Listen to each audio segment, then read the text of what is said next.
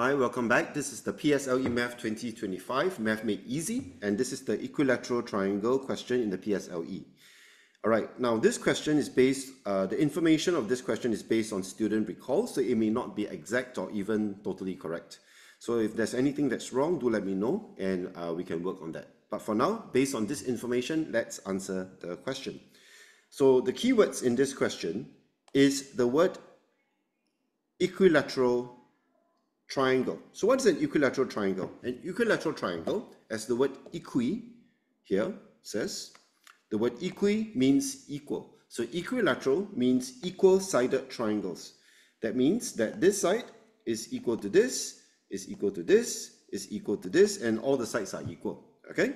Now, um, in order not to, you know, dirty the diagram, I'm just going to remove this. Understand that the sides are equal. And the question is asking for the length of AB. Okay, now the length of AB is this, and this is actually the same as finding this, or the same as finding this, or the same as finding this. Okay, these are all equal. So, where do we begin? Well, the first thing we want to understand is that for diagrams, the movement of two equilateral triangles, perhaps I can illustrate this, Okay, maybe I just copy these two triangles. This one. Okay. Okay, so imagine these two equilateral triangles, right? And if they're identical, then it means that I can overlap them directly. So right now, I should be able to overlap this directly.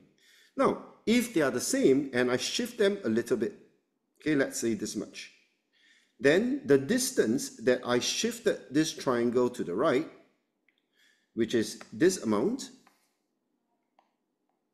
is equivalent to this part because the shift is the same on both sides, right? When you shift one side, the other side shifts by the same amount. So keeping this in mind, okay, this shifting concept, if we go back to our original diagram, then we know that um, if this is 18,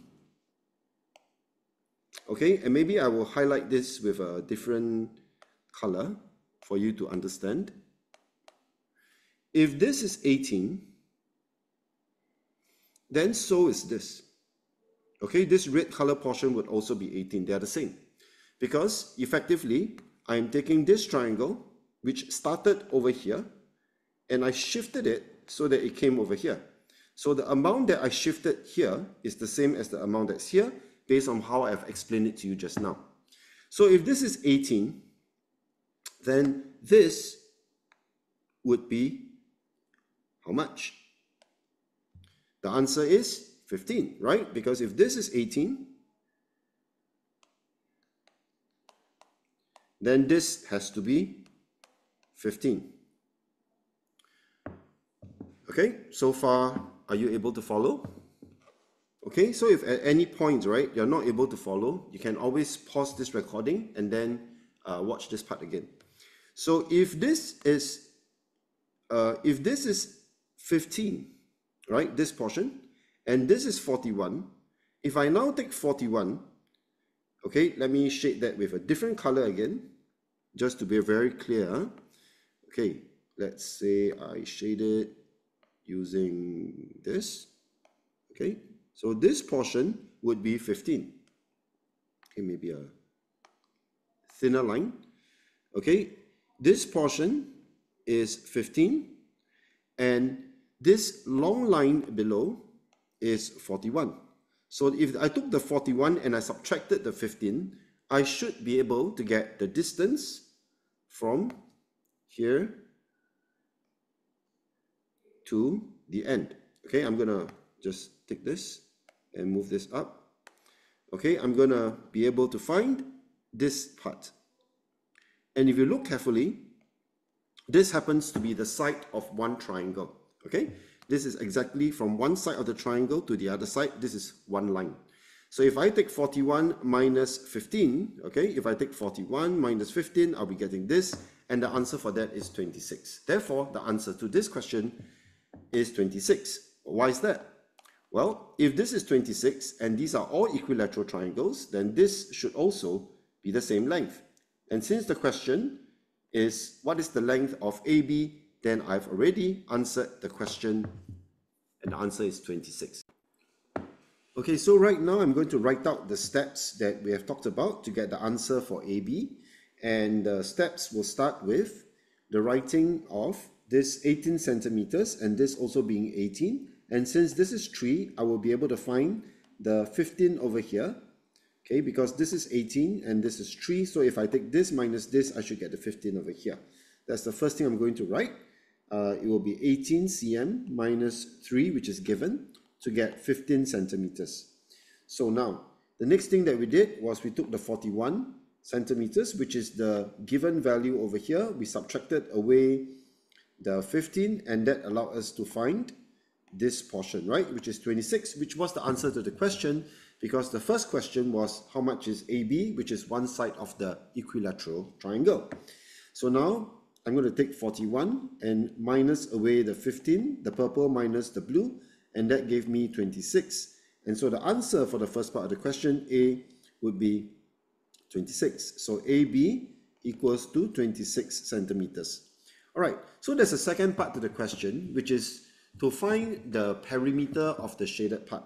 Now, the perimeter of the shaded part includes this portion and this portion. Okay? Now, the problem is that you cannot possibly find this on its own because you do not know what is the value here. So if you do not know what the value is over here, although you can find it, but that will be very long, it is actually easier, just a moment, it is actually easier if you take this line, which you need to include, and transfer it over here. So if you can take this line over here and shift this over here, it would form one side of the equilateral triangle. Now, if you did the same thing on the other side, which, which means that you take this one and you shift it over here, then this line also becomes complete. Okay, of course, that means that right now we are not going to include this in our calculation anymore. We will instead take it as an entire line like this.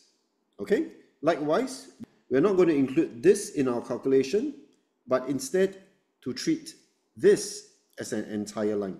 So which are the lines that we are going to include? Okay, I'm going to highlight all the lines that needs to be included to show you what we're going to do next. All right, so this is what we're going to do. We're going to take this plus this since we have already shifted that over, plus this, plus this, and that would give us four sides of the equilateral triangles, right? Now, for the bottom portion, we cannot calculate the whole thing here because this part is not shaded. So we are only going to add instead 18 and 20, sorry, and this portion to get the answer to the perimeter. Okay, how much is this portion over here? Okay, this portion over here, we know that this is 26, and we know that this is 3. So if we take 26 minus 3, that will give us the value that we need for this part, which is part of the perimeter. Okay, I'm going to write that down as a step. So for part B, to find the perimeter, I will take 26 minus 3 to get 23 cm. Okay, you should always write every step that is needed in a question. Okay, now just to recap, to find the perimeter, I'm going to calculate this pink line, this pink line, that's two, two straight lines, three straight lines, four straight lines, plus 18 plus 26 and that will give me the perimeter of this shaded part. So the perimeter would be 26 times 4 because there are four sides of the equilateral each side being 26, and then plus 18, which is from here, and then also plus 23, which is from over here. Okay, so if you calculate this, 26 times 4,